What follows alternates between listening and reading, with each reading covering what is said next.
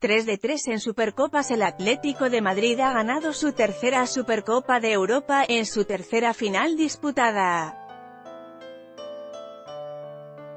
Dicho triunfo le permite auparse hasta la quinta plaza de la clasificación histórica del torneo. No fue hasta 2010 cuando el Atlético de Madrid disputó por primera vez la Supercopa de Europa. En aquella ocasión, como en las dos siguientes, lo hizo como campeón de la Europa League.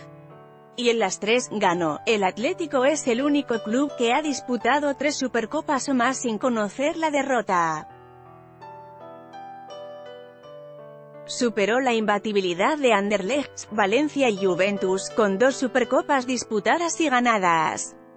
La efectividad de los rojiblancos en este torneo les ha permitido trepar hasta la quinta posición de la tabla histórica, solo tienen por delante al Liverpool, tres ganadas y dos perdidas, al Real Madrid, cuatro ganadas y tres perdidas, al Milan, cinco y dos y al Barcelona, cinco y cuatro.